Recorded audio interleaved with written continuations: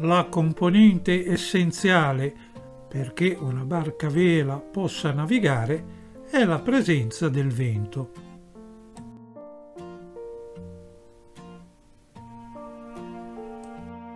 Quando il vento investe l'imbarcazione da un lato, e sarà il lato sopravvento, si dice che l'imbarcazione ha le mura da quel lato. Le vele sono bordate dal lato opposto, ovvero sia sottovento. Vediamo quindi mure a sinistra, vele a dritta. Mure a dritta, vele a sinistra. In alcuni casi, con il vento in poppa, la posizione delle vele può non essere sufficientemente chiara, come quando si tengono le vele a farfalla, fiocco da un lato e randa dal lato opposto.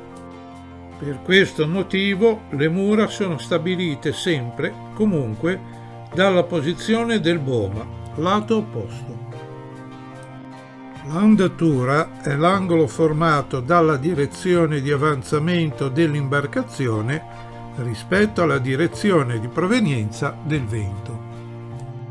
Prendiamo come riferimento la direzione di provenienza del vento e dividiamo i 180 gradi del semi-orizzonte in diversi settori angolari in direzione di avanzamento dell'imbarcazione, ai quali corrispondono le diverse andature. Bordeggio da 0 gradi a 45 gradi, quando il vento ha un angolo di incidenza con le vele troppo piccolo per permettere l'avanzamento. Bolina stretta il settore da 45 gradi a 60 gradi. Bolina larga, il settore da 60 gradi a 80 gradi. Traverso, il settore da 80 gradi a 100 gradi. Lasco, il settore da 100 gradi a 135 gradi. Gran Lasco, il settore da 135 gradi a 175 gradi. Poppa o fil di ruota, il settore intorno ai 180 gradi. Le andature dalla bolina al traverso si dicono andature strette. Le andature dal traverso alla poppa si dicono andature larghe o portanti. Naturalmente le andature sono le stesse sia per mure a dritta sia per mure a sinistra. Se dobbiamo bordeggiare ricordiamoci che abbiamo un settore di bordeggio di circa 90 gradi centrato sulla prua, entro il quale non possiamo avanzare. Angolo morto. Non ci resta che navigare di bolina con mure alternativamente da sinistra e da dritta. Facciamo quindi un percorso a zigzag che risulterà essere circa come lunghezza una volta e mezza di quello rettilineo. Parliamo innanzitutto di tre tipologie di vento. Vento reale è il vento che effettivamente spira. Quando siamo fermi ne possiamo rilevare sul viso l'intensità e la direzione di provenienza. Vento di velocità è il vento creato dal nostro movimento, esempio quello che sentiamo sul viso quando corriamo. È tanto più intenso quanto più velocemente ci muoviamo e sempre proveniente dalla direzione verso la quale ci dirigiamo.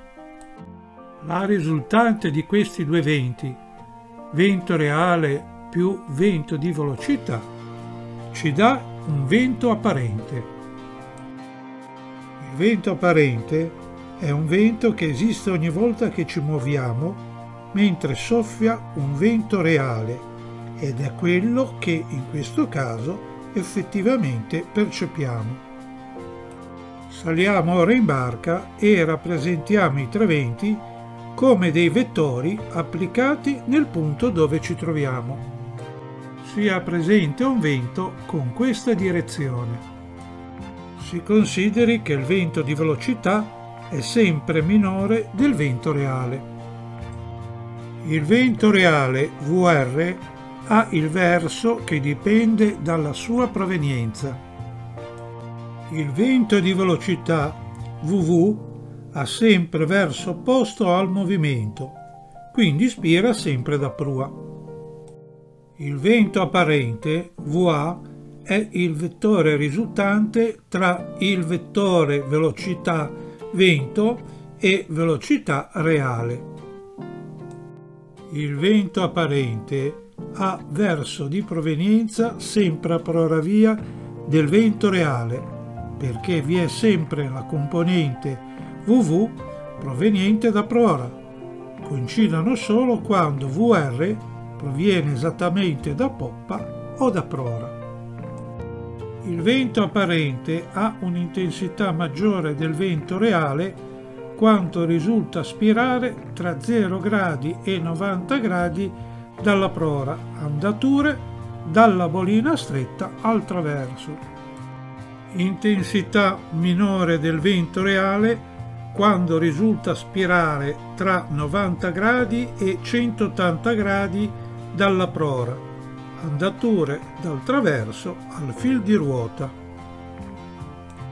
Nell'andatura in fil di ruota, vento reale e vento di velocità sono esattamente opposti e l'intensità di VA è esattamente la differenza fra le intensità di VR e di VV.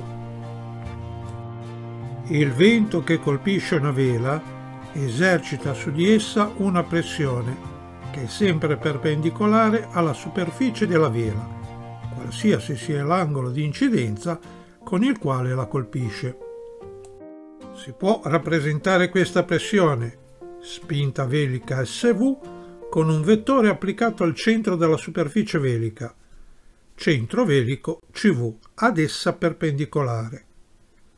Come per ogni vettore possiamo scomporre SV in due componenti perpendicolari fra loro. Una componente è la spinta laterale SL di direzione trasversale all'imbarcazione.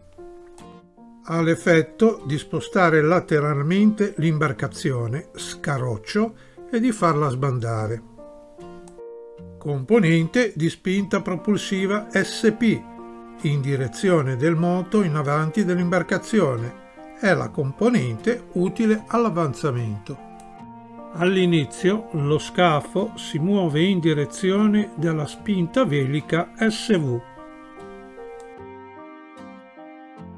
Esiste un mezzo per ridurre gli effetti negativi della componente laterale. Gli effetti di scaroccio e di sbandamento sono contrastati dalla resistenza offerta all'acqua dall'opera viva.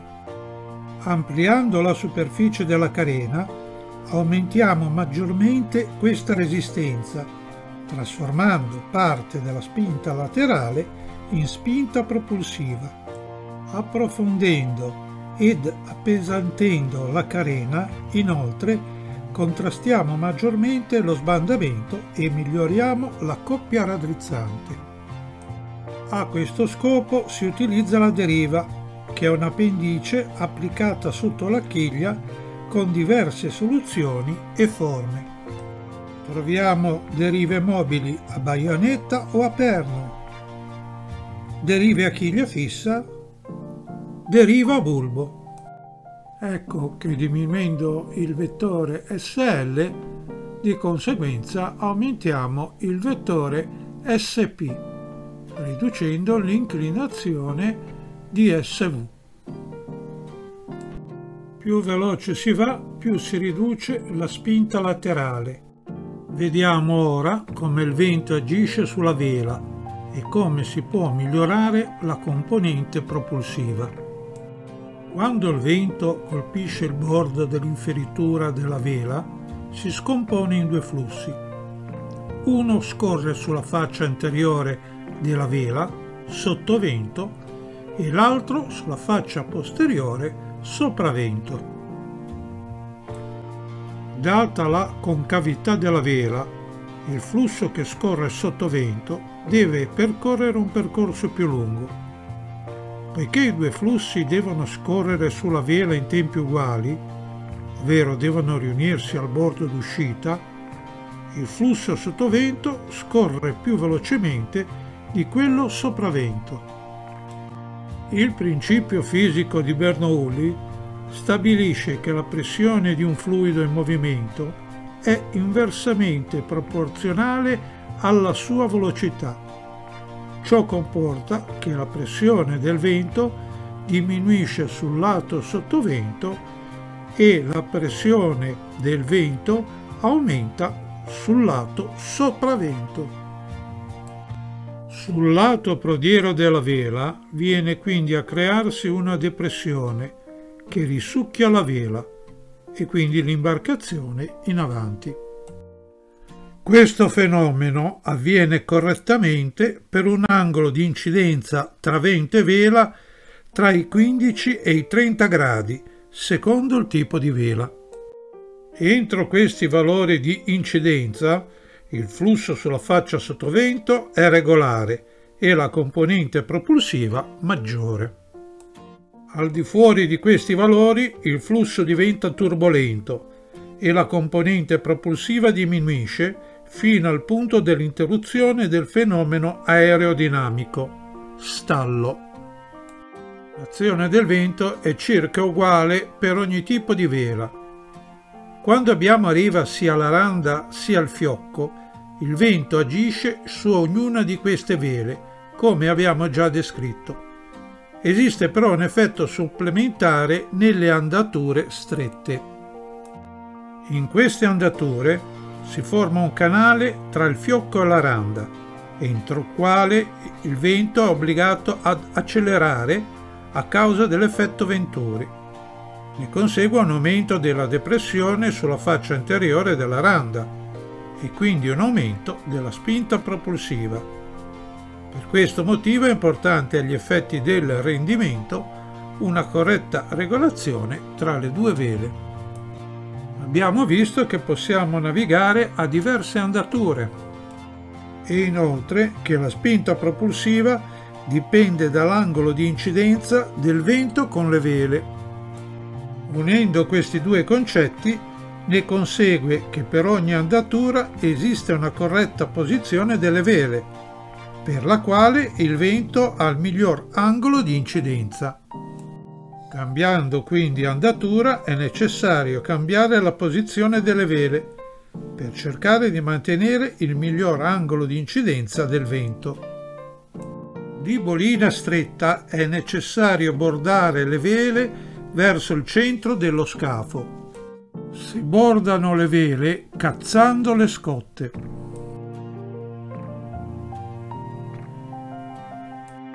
Con il termine cazzare si intende tendere una manovra corrente. Allargando l'andatura si lascano le vele, seguendo la rotazione del vento, cercando così di mantenere lo stesso angolo di incidenza. Si lascano le vele lascando le scotte.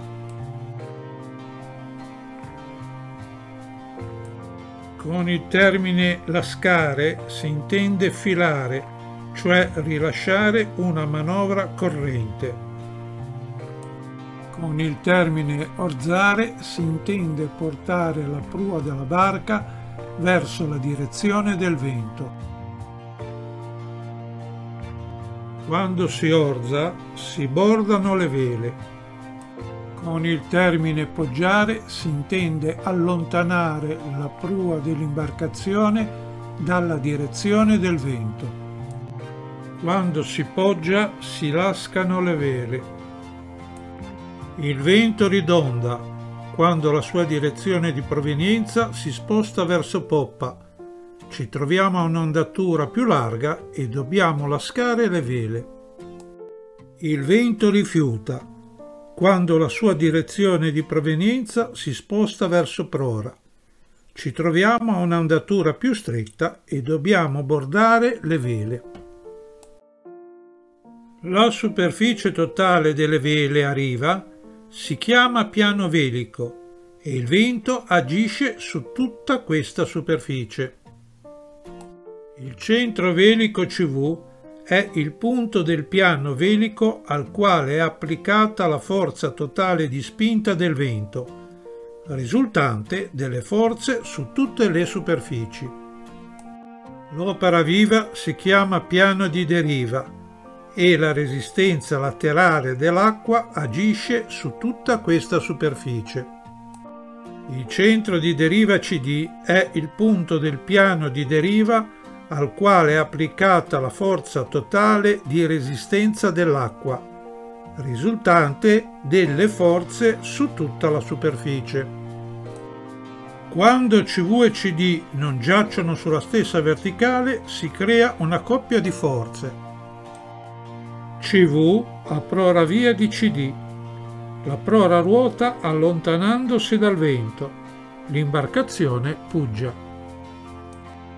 CV a poppa via di CD. CV a poppa via di CD. La poppa ruota allontanandosi dal vento, quindi la prora va verso il vento. L'imbarcazione orza. Si consideri ora distinti il piano velico poppiero, randa, e il piano velico prodiero, fiocco.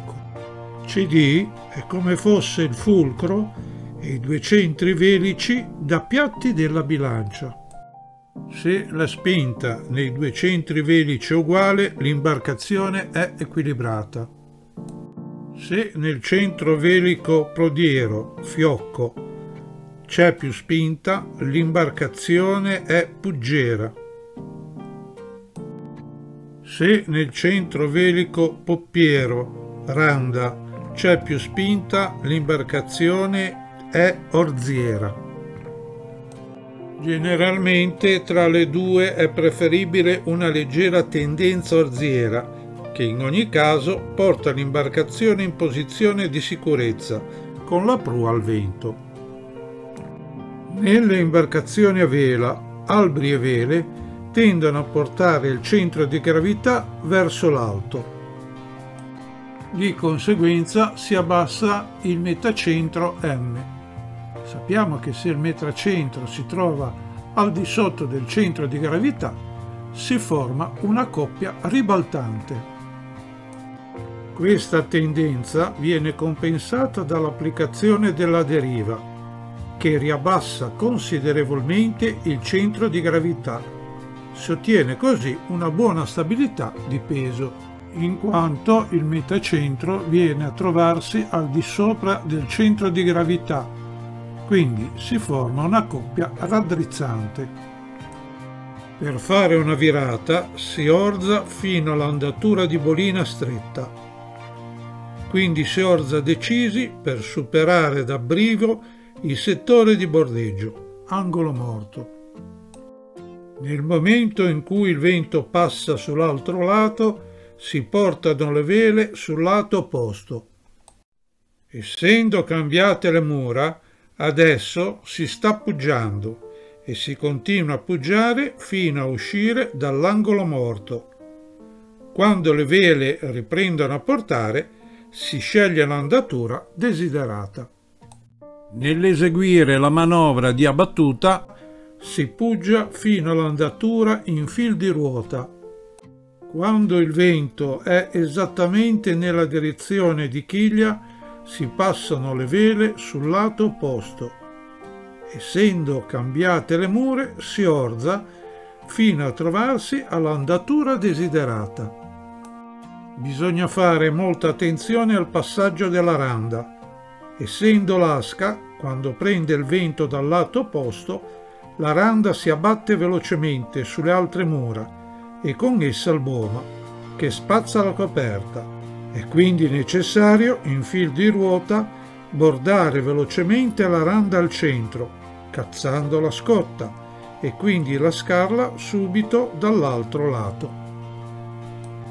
Una battuta incontrollata è detta strambata.